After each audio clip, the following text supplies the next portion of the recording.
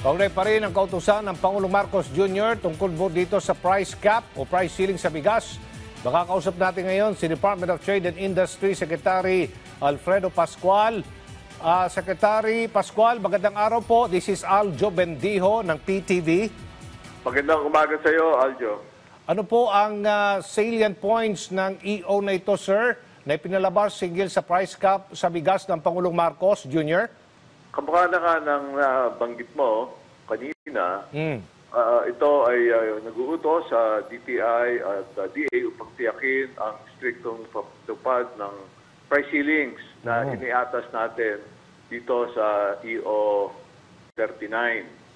At ah, yun na nga, katulong natin dito ang iba't ibang ahensya at ah, kagawaran ng pamahalaan para mapagtulungan at magkaroon ng whole of government approach pagkapatupad nitong EO na to. Kasi hindi lang naman ito sa price nakatutok kung hindi pati sa supply. Ano? Opo.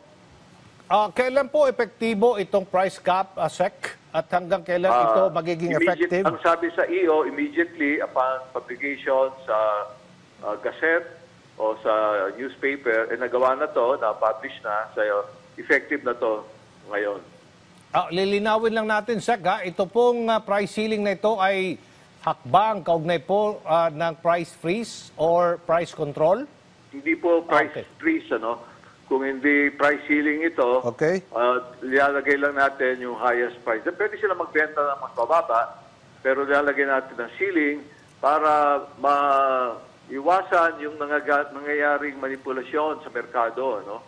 Na kahit na merong supply, tumataas yung presyo. Nakita natin kasi, itong mga nakarang araw, biglang nag, ah, sumipa yung taas eh.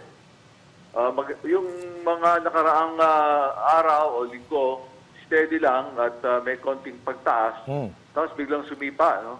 Itong mga nakaraang ah, ah, few days, ano? Mhm. Ah, paano po ang gagawing monitoring po ng DTI dito, Sec, ah, sa paggalaw ng presyo ng bigas sa merkado? Magkakatulungan ng DTI at saka ang ah, Department of Agriculture sa paglilibot at ah, titignan kung nasusunod nga yung pin- pinag-uutos ng ah, EO na to.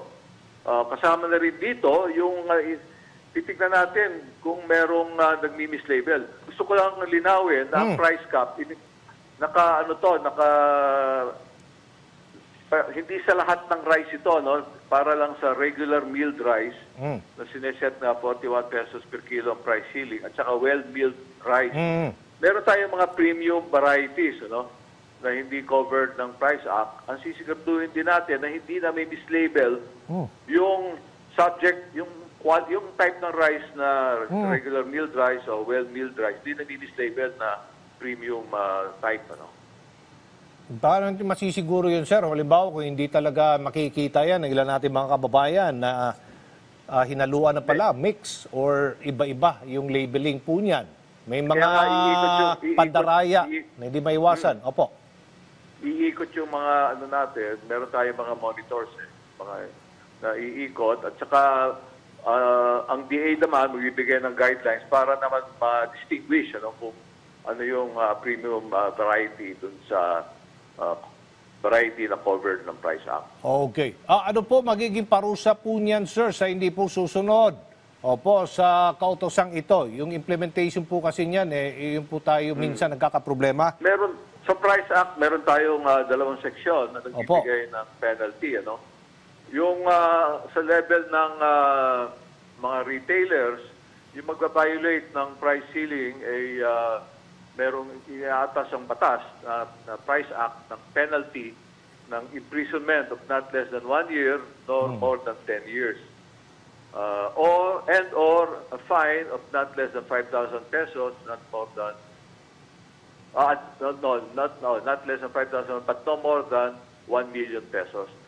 Doon naman sa magmamanipulate, sa mga suppliers sa magmamanipulate through hoarding or catalyzation, ang, ang ah, parusa naman dyan, 5 years ah, minimum, up to 15 years imprisonment, and uh, fine of 5,000, not more than, not more than uh, 2 million.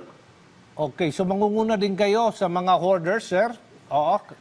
Kayo Ah, di- hindi po. Ah, hindi. Magtutulungan tayo. Okay. Ang gagawa naman natin, ang katulong natin diyan, ang price uh, uh, ano to, ang Philippine Competition Commission Opo. at yung mga law enforcers natin, ano. Opo, okay. So ito nga, eh, ano, ano po yung mga hakbang ng pamalaan, katuwang ang DTI, dito sa mga trader, oh, na posibleng nagtatago nga ng palay at bigas. At uh, ito, nag-hoard nga, ibinebenta kapag mataas na ang presyo. So yun na nga ang uh, ini- iniiwasan Opo. natin Opo. na yung nag-hoard at uh, nag-create ng artificial shortage para magkaroon ng basihan yung pagpapataas nila ng presyo, eh yun naman ang hahabulin ng ating mga law enforcers. Kasama na dyan ang uh, ang uh, Philippine Competition Commission, ang Bureau of Customs, lalo na kung ito imported rice, ah, at saka yung mga law enforcers natin, kumaka ng NBI, halimbawa. At ah, kasi, ang ah, iniwasan natin nga, yung manipulated price, ano? At ah, nakikita naman natin sa ating obserbasyon sa market, eh, may supply naman. Kasi ang DTI may mga inspector o monitor na nakakalat sa buong Pilipinas. Ano? Kaya nalalaman natin ang sitwasyon ng presyo at supply sa bawat lugar ng Pilipinas. Opo. Ah, ano ang inilatag na tulong naman, Sec, sa mga apektadong retailer ng, ng bigas na ito ng kautusan ng Pangulo? Yan ang ano, pinag-usapan din namin na siguro maapektuhan dito yung mga retailer na nakabili na ng mas mataas na presyo. Ah, yun ang ah, inaano namin, dinidiscuss ngayon sa DILG. Okay, mensahe o paalala na lang po sa ating mga kababayan, Secretary Pascual. Sa ating mga kababayan, ang EO39 ay isang hakbang para siguraduhin na mapanatili sa abot kayang halaga ang ating bigas at pangalagaan ang inyong kapakanan. Kami ay naririto para sa inyong ah, ah, kabutihan at para tiyakin na mayroong patas na kompetisyon sa ating mga palengke at merkado. Salamat po. Maraming salamat din sa inyong ah, panahon at impormasyon, DTI Secretary Alfredo Pascual.